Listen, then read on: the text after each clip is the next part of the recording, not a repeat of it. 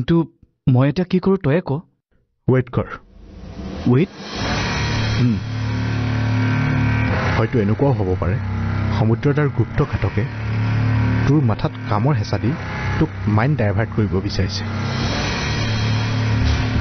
সেইকাৰণে ইনডাইৰেক্টলি সিহঁতে এনেকুৱা এটা ছিটুৱেশ্যন ক্ৰিয়েট কৰিছে যাতে তই ইনবেলেঞ্চ হৈ এনেকুৱা এটা নকৰিবলগীয়া কাম কৰ যাৰ বাবে সিহঁতৰ সুবিধা হয়।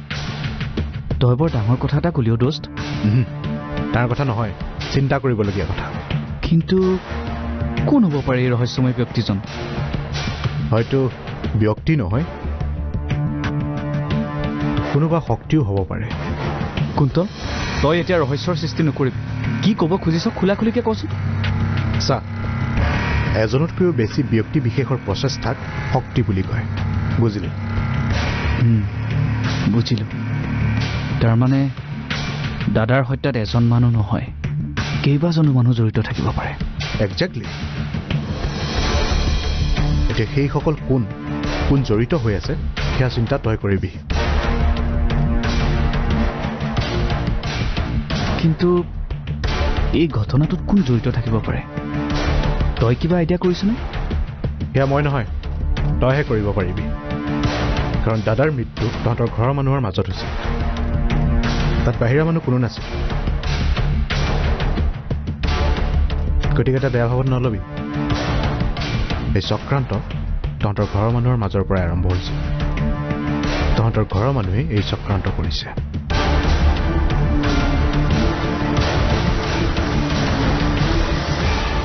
চক্ৰান্ত? চক্ৰান্ত মই কৰা নাই।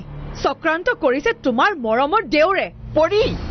বিশ্ব প্ৰতাপ বৰুৱাৰ একমাত্ৰ সন্তান হিচাপে এই কোম্পানীটোত সমানে ভাগ মোৰো আছে। কিন্তু কিন্তু এই কোম্পানীটোৰ পৰা মোক আঁতৰত ৰখোৱাৰ চক্ৰান্ত কৰিছে তোমাৰ মৰমৰ সৰু বোপাই। চুপ থাক।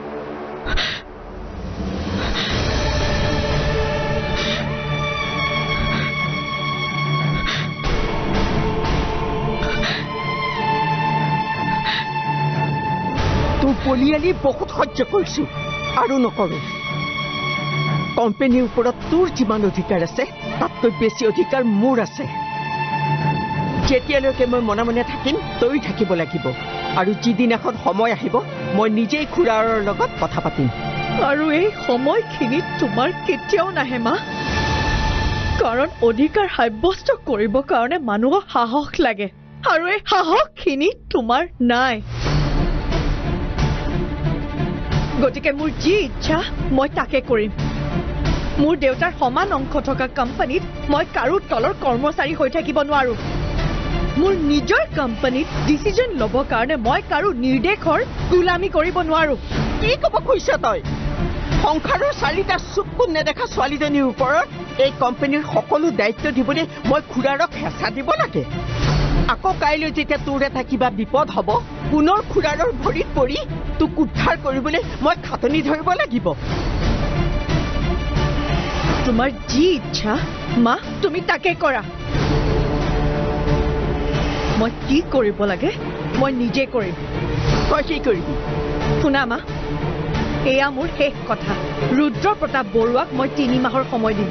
আৰু এই তিনি মাহৰ ভিতৰত যদি কোম্পানী সমানে ভাগ নকৰে তেনেহলে মই আইনৰ কাষ চাপিম। পৰি! এয়া মোৰ শেষ ডিচিজন মা। আৰু এইখিনি কথা তুমি তোমাৰ মৰমৰ দেউৰক তোমাৰ নিজৰ মুখেৰে কবা নে মই ক'ব লাগিব? সেইটো ডিচিজন তুমি নিজে লোৱা।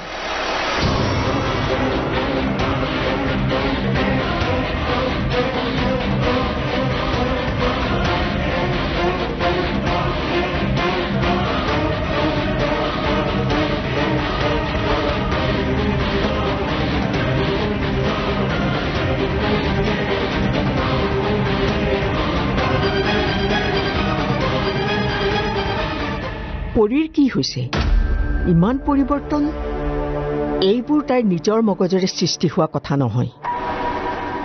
কোনোবাই তাইক এইবোৰ কথা সুমুৱাই দিছে। কোন? কোনে তাইৰ মূৰত এইবোৰ সৰ্পৰাশি বুদ্ধি সুমুৱাই দিছে? কোনে তাইক ধ্বংসৰ মুখলৈ ঠেলি দিয়াৰ চক্ৰান্ত কৰিছে? কোন? কোন হ'ব পাৰে?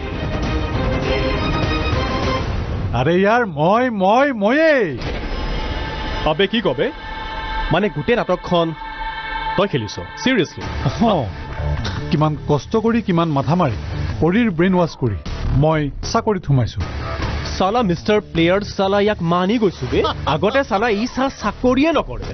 এতিয়া পৰীৰ নিজ কোম্পানী বুলি গম পোৱাৰ কাৰণে সি দৰে চাকৰি কৰিবলৈ চুচৰি গ'ল। বাহ লাগে ৰে বে। বাহ। ঐ ইয়াক কম বুলি ভাবিছে ই তামাম দেই। আই ন দেট আই ন ৰ মই চাকৰি কৰিবলৈ কিয় হাঁ বুলি ক'লো? তহঁতে কি বুজিবি? জানো জানো। কেইদিনমান পাছত যে তয়ে মালিক হবি। ভালে হ'ব দে তই মালিক হ'লে কামোৰো ওলাব। আৰে দোস্ত তোৰ ককায়ৰ ইমান ডাঙৰ ইণ্ডাষ্ট্ৰী আছে। তোক মই কি কামত লগাম? বন্ধু সেইটো নামতহে মোৰ ককাইৰ ইণ্ডাষ্ট্ৰী। কোম্পানীততো মোক সোমাবই নিদিয়ে। চালা বিশ্বাসে নকৰে বে। কিয়? টকা মাৰ বুলি। ই এবাৰ সোমালে গোটেই লুটি পেলাব। কথা সেইটো নহয়। একচুৱেলি মোৰ স্বভাৱটোলৈ ভয় খায়। এই য'তে ত'তে মাৰপিট কৰি মই পাংগালৈ ফুৰো যে। সেইকাৰণে। তোৰ প্ৰথমতে গোটেই ইণ্ডাষ্ট্ৰীৰ দায়িত্ব মোকেই দিছিলে। কিন্তু এবাৰ কি সেই ইউনিয়ন লিডাৰটোক মাৰিলো চালা গোটেই ৱৰ্কাৰ্ছবোৰে ষ্ট্ৰাইক কৰি দিছিলে।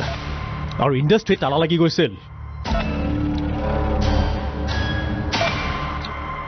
তাৰ পাছতে এতিয়া প্ৰায়ভাগ সময় দাদাই মোক বাহিৰৰ কামতে ৰাখে। বুজিলি? মোৰো লাগু লাগু হৈয়ে থাকে। বুজিছ দোস্তি এই হালৈ বুলি সেই মেনেজাৰজনক এচাত ধুলাই দিওঁৱে নেকি? পৰীৰ মুখলৈ চাইহে চুপচাপ আছো। আমাৰ মাথাবোৰ গৰম না। দাদাৰ দৰে ঠাণ্ডা হৈ থাকিবতো নোৱাৰো। এই বল বল।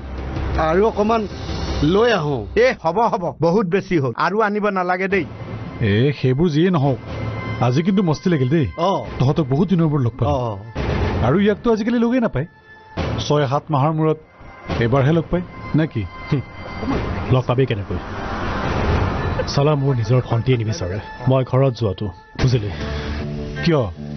তই ঘৰটো লাফা কৰ নেকি? ঘৰত নহয় বে বাহিৰত। কাৰণ মই যেতিয়া ঘৰলৈ আহোঁ কিবা নহয় কিবা লাফাত ফচিয়ে যাওঁ। এতিয়া ঘৰৰ মানুহে কিমান পুলিচক টকা খুৱাব আৰু কিমান মোক জামিন দি থাকিব তই ক। ঠিকে কৈছ ইয়াৰ। চালা আমাৰ লাইফটোৱে যায় আচ্ছা সমীৰ এই সমুদ্ৰ বৰুৱাৰ মাৰ্ডাৰ কেছটো কি হ'ল? কোনোবা ধৰা পৰিছে? নাই? সেইবোৰ ডাঙৰ ডাঙৰ মানুহৰ কথা। ইমান জল্দি ক'ত ঠিক হ'ব? অঁ পুলিচে মালটো খাই আছে। সেইকাৰণে মনে মনে আছে। সমুদ্ৰ বৰুৱা। চালা বেচেৰা। প্ৰেমত মৰি গ'ল বে শুনিছোঁ হেনো সমুদ্ৰৰ ঘৈণীয়েকে বেলেগত চাকৰি কৰি চলি আছে? কি? অঁ। তাই চাকৰি কৰি আছে? অঁ। আবে সিহঁত ইমান কংকাল কেতিয়াৰ পৰা হ'ল বে আমাৰ আগত দেখোন বেয়া খানদানী লেভেল দি ফুৰিছিলে। এতিয়া কি হ'ল? হা? এ দেখা দে খানদানী। মই জানোতো ভিতৰত মাল একোৱেই নাই। আৰে ভাই তইতো গম পাবিয়েই কাৰণ এতিয়া মেইন চাবিটো যে তোৰ হাতত পৰি। তহঁতৰ চাবি বাদ দেই আচলটো আনিব লাগিছিলে। নহ'লে সেইফালেও তালা লাগি যাব।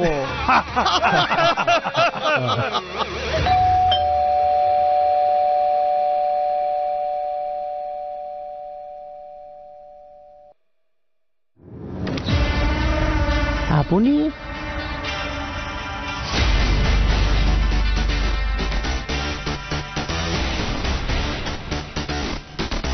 ধৰণী? ধৰণী অৰ্ণৱ আহিল নেকি?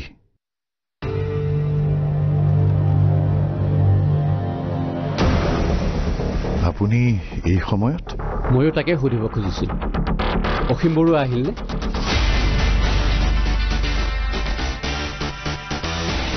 আৰু অৰ্ণৱ বৰুৱা ক'ত?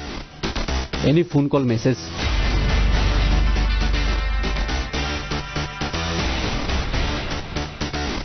কিয়?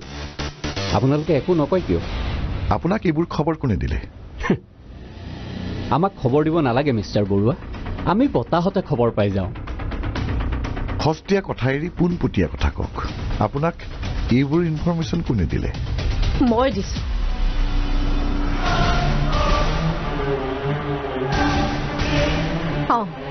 মই ইনফৰমেশ্যন দিছোঁ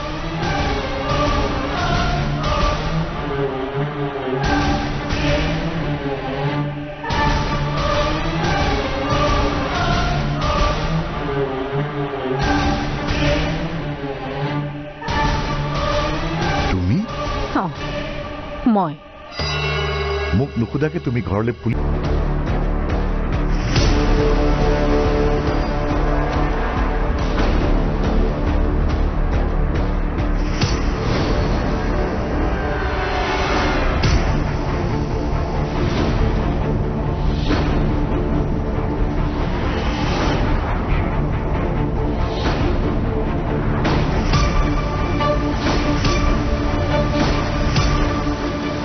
মাজুদা ক'ত দেউতা? সেইটো তইহে জানিবি। মই কেনেকৈ জানিম? মই এইমাত্ৰ আহিছোহে তোমালোকে দেখোন আছিলা। কি কথা কৈছ? তই তাক ৰাতিপুৱাই লৈ যোৱা নাছিলি? সেয়াইতো মই ৰাতিপুৱা নিছিলোঁ কিন্তু দুপৰীয়া একমান বজাত মই গেটৰ ওচৰত নমাই থৈ গৈছোঁ। কি কৈছ তই এইবোৰ? অঁ মই সঁচাকৈ কৈছোঁ। কি? অঁ শুনা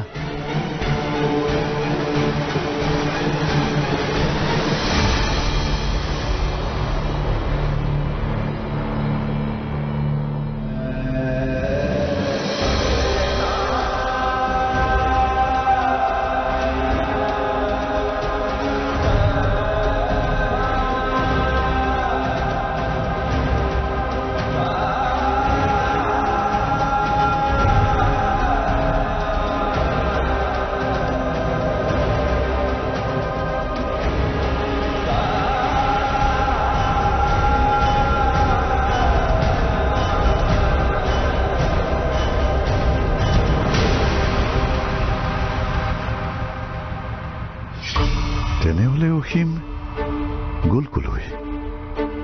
তাৰমানে মই নমাই থৈ যোৱাৰ পিছত দাদা ঘৰলৈ অহাই নাই।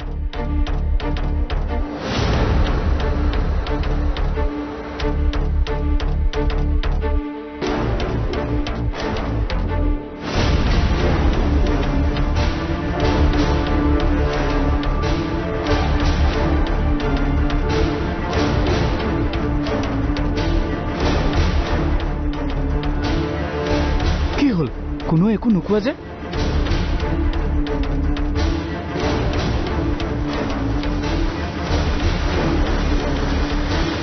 ধৰণিকাই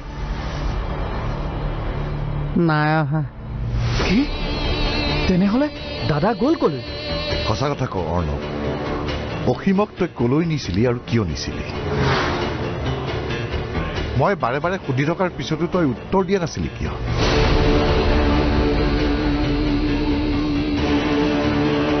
মোৰ উপস্থিতিত তই নিজৰ ইচ্ছামতে এনেকুৱা কাম কৰিবলৈ অধিকাৰ ক'ত পালি?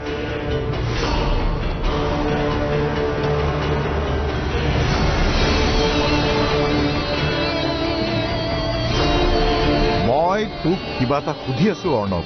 উত্তৰ দে।